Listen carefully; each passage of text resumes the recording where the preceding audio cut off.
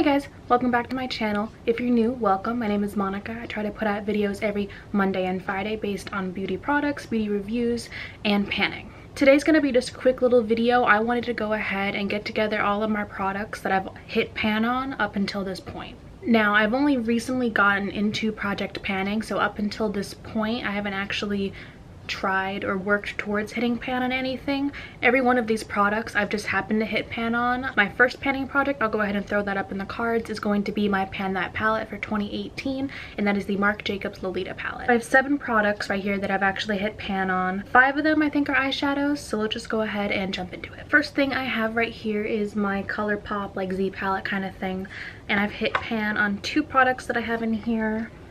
One is the Butter Bronzer from Physicians Formula. I got little itty bitty baby pan right there. And this one is the Translucent Sexy Mama Powder from The Balm. And I've hit major pan on that one.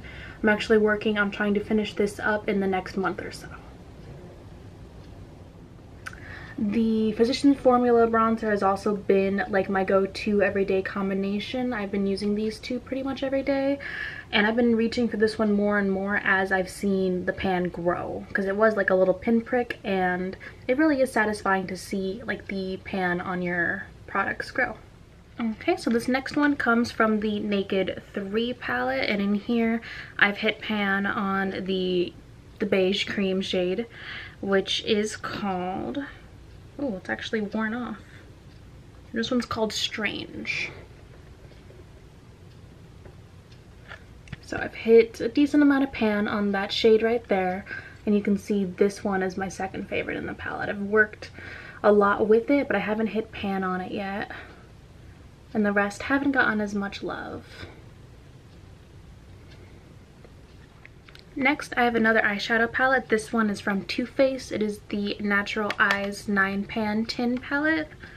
And on this one, again, I've hit pan on the, you know, white cream shade right there. It's a pretty significant amount of pan.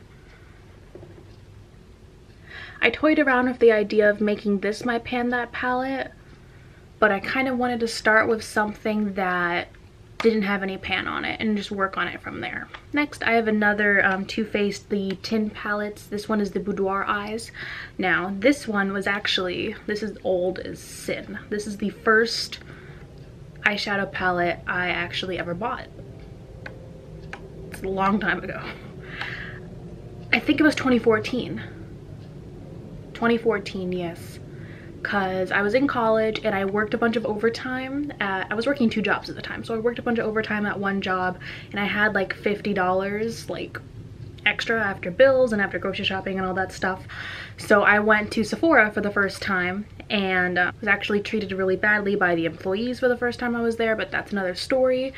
And I actually picked up this and a highlighter. And I actually picked up a highlighter before I even knew like what highlighter was. I was just like, oh, this powder looks really pretty. I had no idea how to use it. I didn't learn how to actually use a highlighter until like two years later and I still had that highlighter. I think I still, I still have it in my collection. It's over in my highlighter drawer.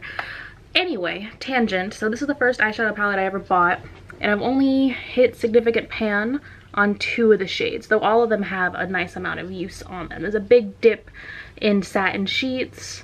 This one in the buff, it's almost completely used up. You've got just a little bit left in the corner right over there. And then this one, what is this one called? Sugar Walls, almost completely gone. I also toyed with the idea of making this my Pan That palette, but again, I wanted to start with something that um, I could pan kind of from scratch. Next, I have a Super Shock shadow from ColourPop in the shade Sailor. There we are, so you can see that's pan right there in the middle.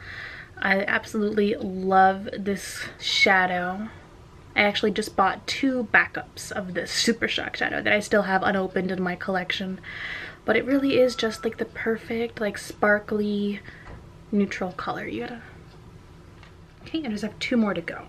So this next one was actually really exciting. It's the first highlighter I've ever hit pan on, ever. And it's the Fenty Beauty highlighter in Lightning Dust and Fire Crystal. I've hit a decent amount of pan on the lightning dust shade right there and I am hoping to hit pan right there where the um, the FB is on Fire Crystal soon.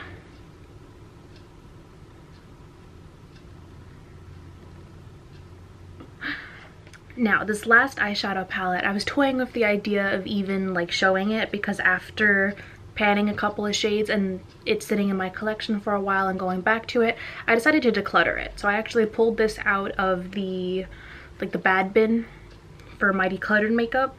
But since I did end up hitting a decent amount of pan on two of the shades, I thought I would go ahead and show it. And it's the Urban Decay Naked Smoky palette.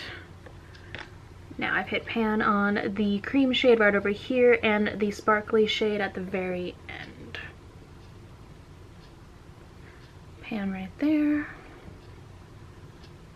And a decent amount of pan. This one's almost gone. Now as you can see, the rest of the shadows are practically untouched. I found this in my collection again a couple of weeks ago and I brought it out and I thought, you know what, I loved these two shades so much let me go ahead and try the rest of the shades. So I brought this out, I tried a few looks, and I ended up hating the rest of the shades.